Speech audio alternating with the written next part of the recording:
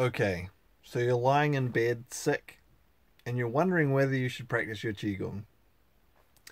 I'm not actually sick, I'm just setting the scene for our topic today.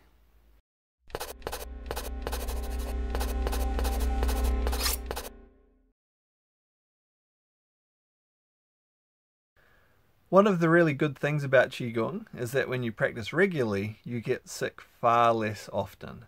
And touch wood, I'm not sick right now and I'm not planning to get sick. I've been really fortunate uh, that recently I've been able to practice Qigong really regularly and I have really enjoyed it.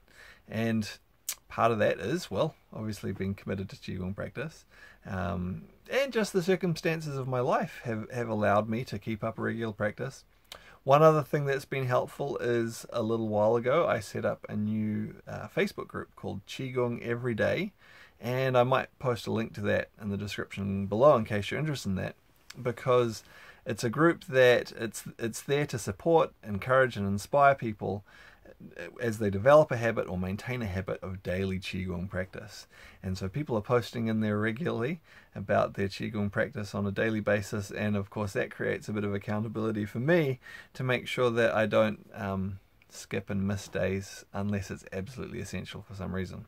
And most of the time, it's you know there's always a, a way you can fit in at least a little.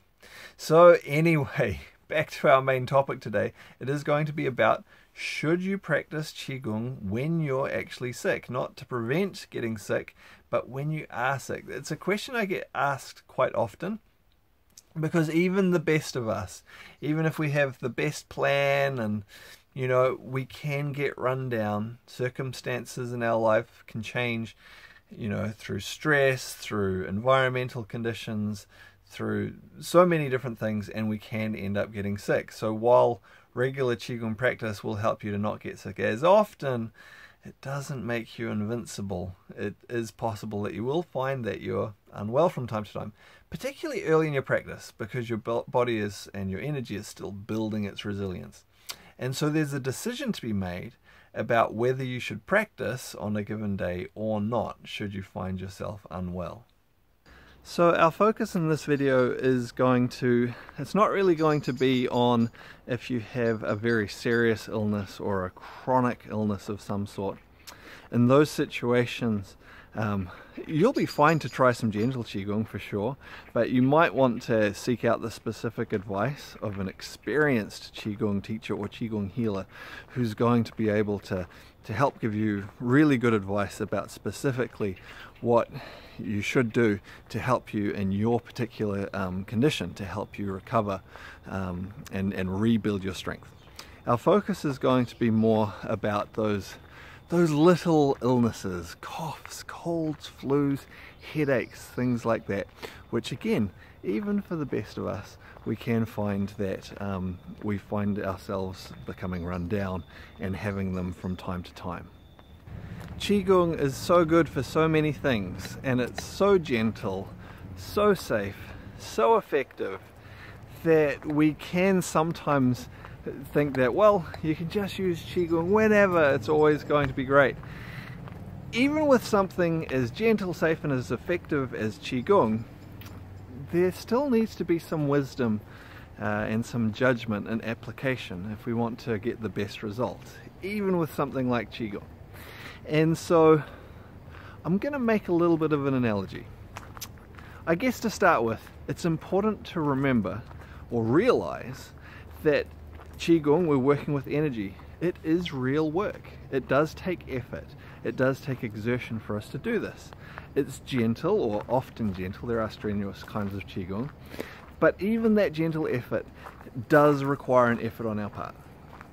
So I'm going to make an analogy to another type of exercise which you might be familiar with and because it's a more vigorous type of exercise it might be easier to see and understand how this works in relationship to if you are sick or unwell.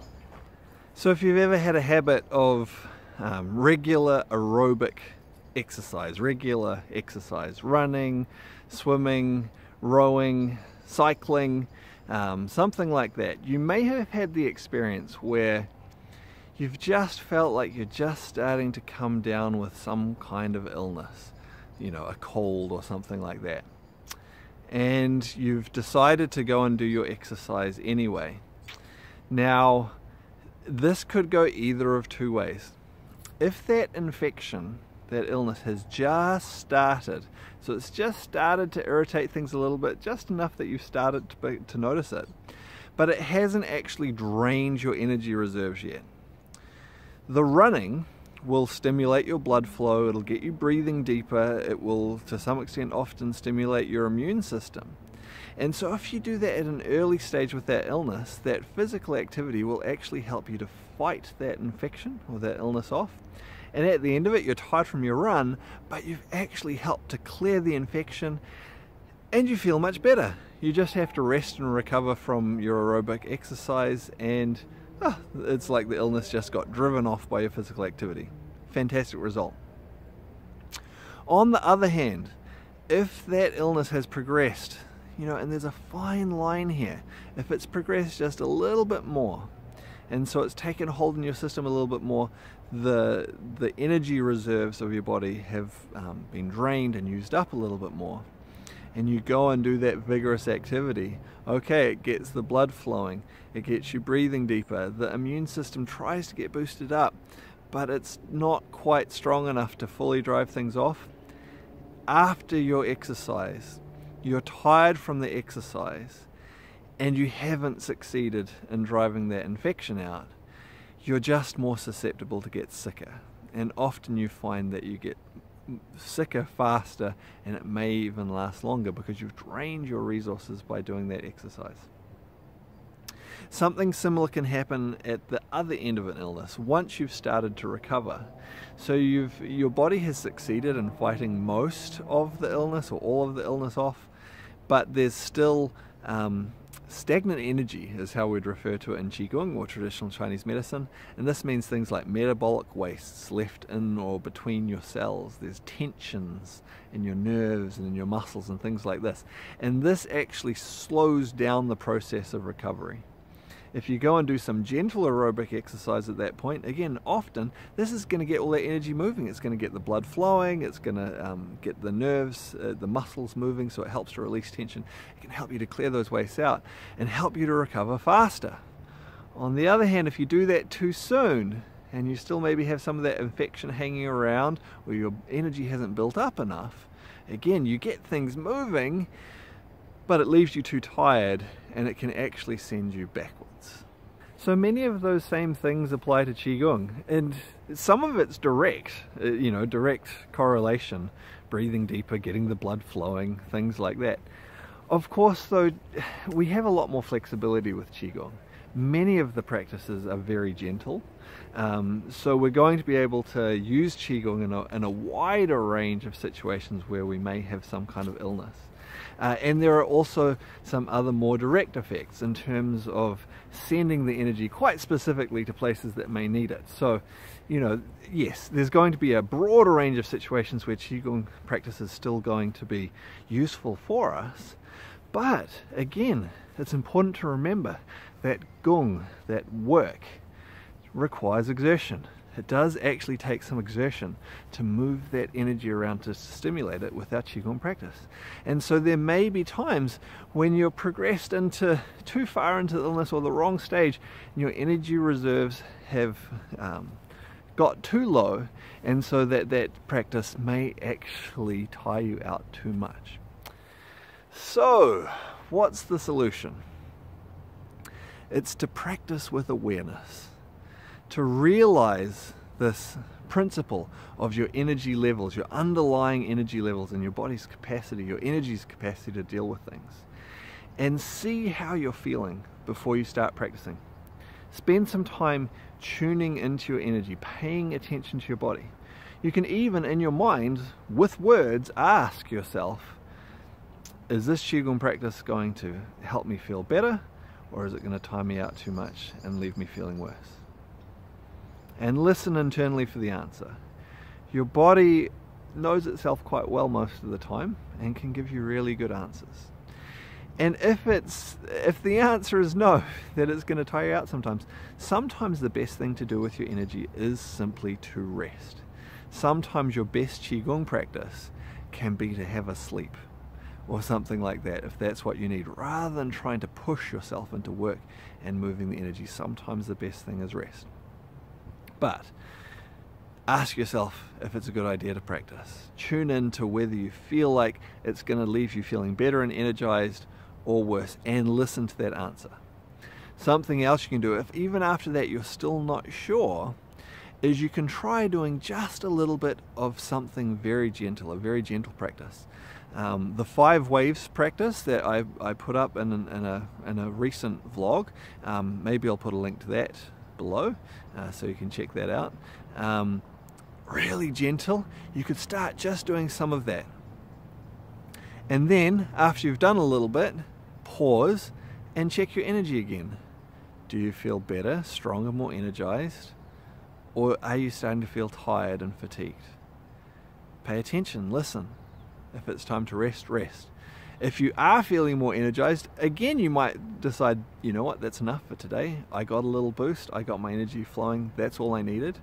Or you might think, you know what, it's okay to move on to some some uh, qigong practices that maybe take even a bit more energy. Something like 12 rivers is fantastic. The way that it moves the energy through all of the organ meridians, it can really help to clear stagnancy and help to get energy uh, moving in a way that will help you to recover. But you know, whatever the practices that you choose, you might move on to something else. But again, very important as you go through, stop every now and then, check, pause, check yourself how am I feeling? Is this boosting me up or is it tiring me out too much? When you start to feel that fatigue, it's probably time to rest and end your practice. Bring it to close, settle all your energy down, and bring it to close for the day. Of course, there might be situations where um, you're not even able to do a moving practice, for example, um, but you but you still think maybe some practice would be useful to you.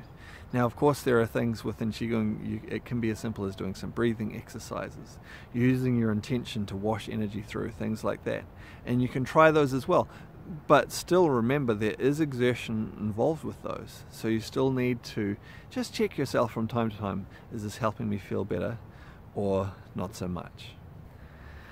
And then the last thing that I would recommend, and you may have access to this or you may not, is you know, at times when you may feel that you're not uh, not able to practice for yourself for whatever reason, it can be really useful to seek the help of someone who has skill with Qigong healing. Someone who can help move and flow the energy for you. Um, that really is the purpose of it. Most of what you do in Qigong healing can be accomplished by your own practice but it takes a lot of practice and skill and time and effort to be able to do that. Whereas someone who is skilled at Qigong healing is able to step in and help you out with that process. And that might be something that will also be really useful for you to help you to um, to recover and rebuild and, and, and, and get back to, to health more quickly. Um, we do have an, an introduction to Qigong healing course coming out I don't have a set date for it yet. Soon, probably in the next couple of months at Long White Cloud Qigong. So uh, if that's something you're interested in, uh, might be something to keep an eye on. Um, make sure you, uh, I guess, probably sign up to the email newsletter. I'm bound to put something on here as well. So if you subscribe to the vlog, you'll probably hear about it as well. Um, if that's something you're interested in. Um, ways within that to help yourself and of course to help other people around you, family, friends, to help them um, to keep their energy healthy and strong as well. Okay, as usual, I hope you enjoyed this, uh, this vlog. If you found it interesting, I do you know, I hope other people are going to find this and it's going to be a tool to share things about Qigong, um, things that will help people in their lives. So if, if, that's the case, maybe you could like the video, you could subscribe to the channel, you could share this video with other people. That would be great. It'll help other people to find the channel as well. And I look forward to seeing you on the next one.